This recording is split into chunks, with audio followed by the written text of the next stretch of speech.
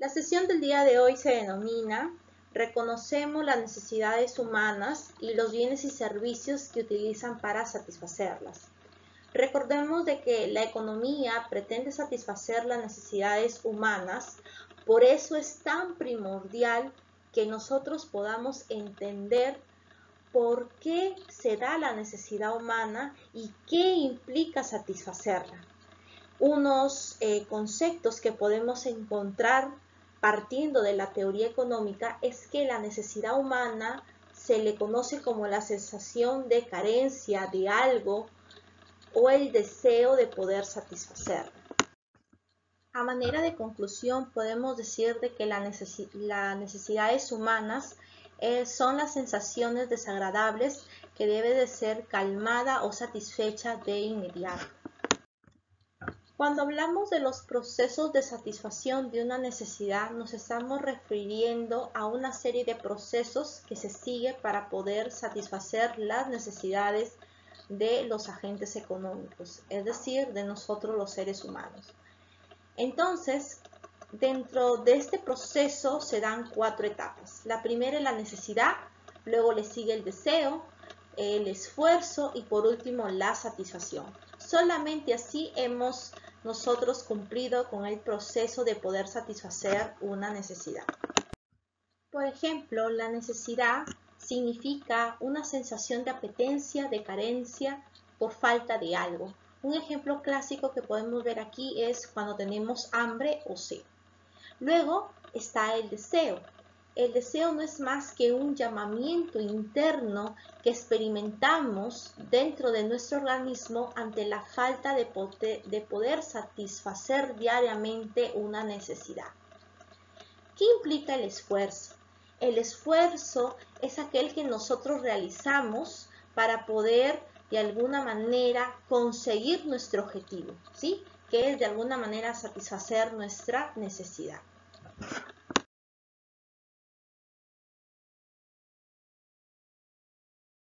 Y por último, se encuentra la satisfacción, eh, que es la última etapa del proceso de satisfacción de una necesidad.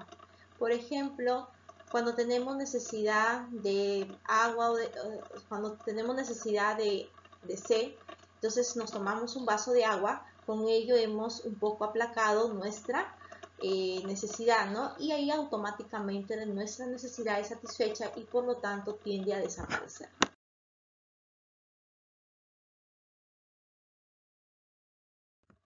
A manera de conclusión, podemos decir de que la idea central que engloba la diferencia entre una necesidad y un deseo es que la necesidad forma parte del deseo.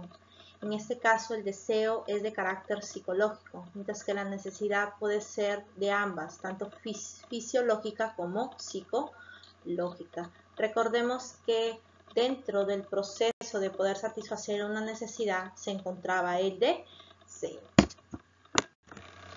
Existen siete características de las necesidades humanas.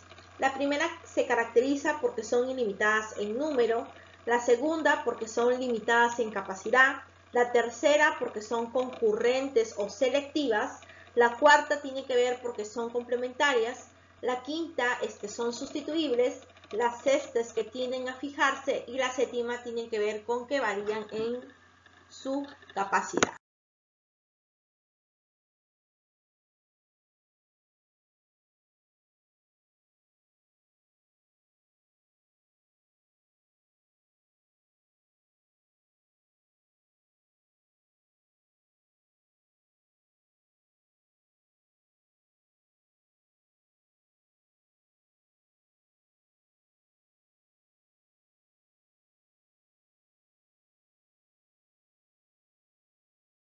Partiendo con las clases de necesidades, estas se clasifican según su naturaleza, según el tiempo y según sus características. Dentro de la clasificación de las necesidades tenemos las necesidades que se clasifican según su naturaleza. Dentro de este tipo de necesidades encontramos las necesidades materiales y las necesidades inmateriales o también conocidas como espirituales. Las necesidades materiales son aquellas que son producidas por necesidades físicas, mientras que las necesidades inmateriales o espirituales son aquellas que son producto del mundo interior de la persona. Siguiendo con la clasificación de las necesidades, encontramos las que se clasifican según el tiempo. Y estas eh, se clasifican según, según necesidades presentes versus necesidades futuras. Cuando hablamos de las necesidades presentes, son aquellas que se requieren satisfacer en el momento, es decir, en el ahora. Mientras que las necesidades futuros son aquellas que se necesitan satisfacer teniendo en cuenta un tiempo prolongado.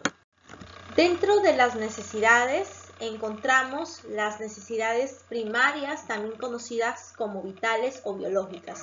Estas son aquellas que al no ser satisfechas pueden poner en peligro tu vida, tu salud y sobre todo tu integridad.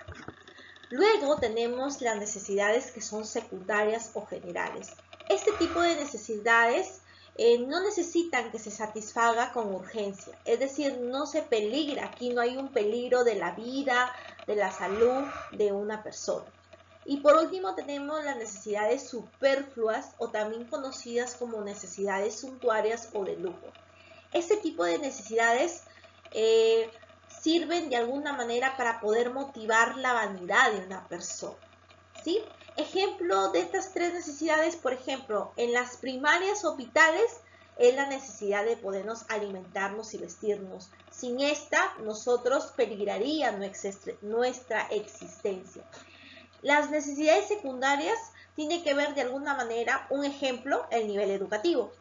Y cuando nos hablamos de, un ejemplo para lo que son las necesidades superfluas o suntuarias o de lujo, por ejemplo, es un celular moderno, el ir a pasear a un centro comercial y comprarse ropa, ¿no? Por simplemente vanidad. Al hablar de bienes, tenemos que tener en cuenta que son todos aquellos objetos que pueden ser tangibles o intangibles. Este tipo de bienes tienen que tener una función primordial. Primero, la de poder satisfacer las necesidades humanas que son imprescindibles para poder actuar y desarrollarnos, ¿sí? Y la otra que sea de fácil acceso para obtener ese tipo de bienes.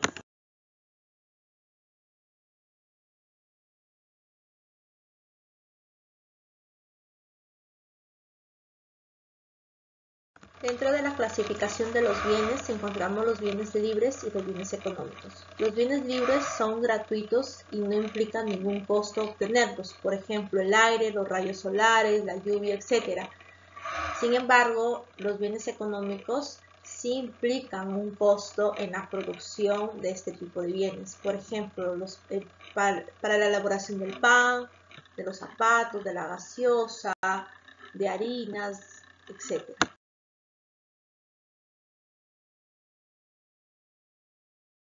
Los bienes se clasifican según su producción. Aquí hay que tener en cuenta tres tipos de bienes. Los bienes de capital, los bienes intermedios y los bienes finales. Los bienes de capital, un ejemplo que podemos eh, tener aquí, por ejemplo, es una máquina de, impresión que se utiliza para obtener libros. En los bienes intermedios, un ejemplo claro son las materias primas e insumos que se utilizan, por ejemplo, tela, harina, madera, ¿no? Para Luego obtener los bienes finales, que en este caso son aquellos bienes que se satisfacen directamente, ¿no? Eh, por ejemplo, eh, cuando voy a comprar un calzado, cuando voy a comprar una mesa, un lapicero, etc. Cuando clasificamos a los bienes según la naturaleza de estos, tenemos los bienes materiales y los bienes inmateriales. Por ejemplo, a lo que respecta a bienes materiales, por ejemplo, lo que se puede palpar o tocar, por ejemplo, los zapatos, un lapicero, una mesa, una silla, un televisor, etc. Pero cuando hablamos de bienes inmateriales, son aquellos que nosotros no podemos palpar. Por ejemplo, las ideas, los servicios, una patente, etc. Y por último, los bienes conexos se dividen en bienes complementarios, bienes sustitutos, bienes inferiores, bienes normales y por último el bien libre.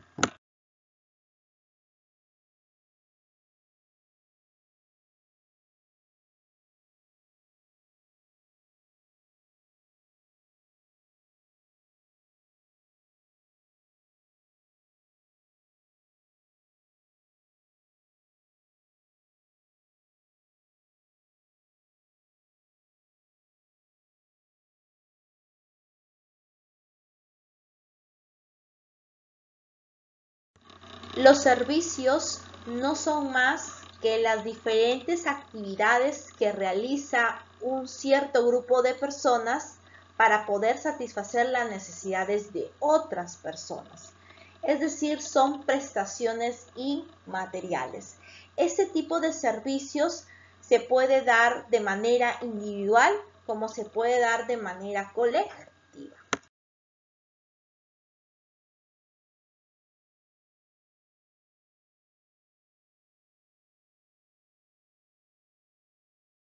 Los servicios se caracterizan teniendo en cuenta tres aspectos. El primer aspecto es que se consumen en el acto. El segundo aspecto tiene que ver que son inmateriales. Y por último, se presentan a través de la utilización de bienes.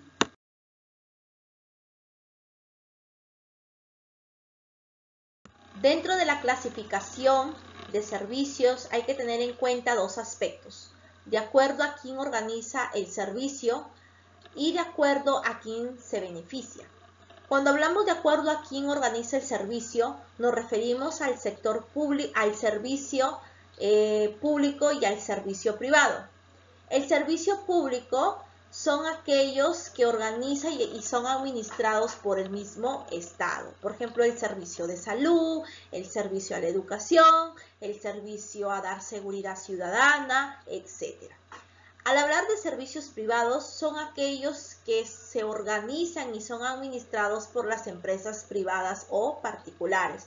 Un claro ejemplo, por ejemplo, el servicio que te da de luz, en este caso ENOSA, el servicio que te da de agua potable, en este caso la EPC Grau, porque uno paga por el servicio, el servicio, por ejemplo, que nos brindan las instituciones educativas, en este caso la enseñanza educativa, por ejemplo, el servicio que hacen las clínicas particulares, ¿no? Para poder atender a un paciente, etc. A la hora de poder hablar sobre la otra clase de servicio, que es aquella que está de acuerdo a quién beneficia, encontramos a los servicios individuales y los servicios colectivos. Dentro de los servicios individuales son aquellos que pueden darse a una persona en un mismo momento. Pero cuando hablamos de los servicios colectivos, son aquellos que se dan simultáneamente a un grupo de personas.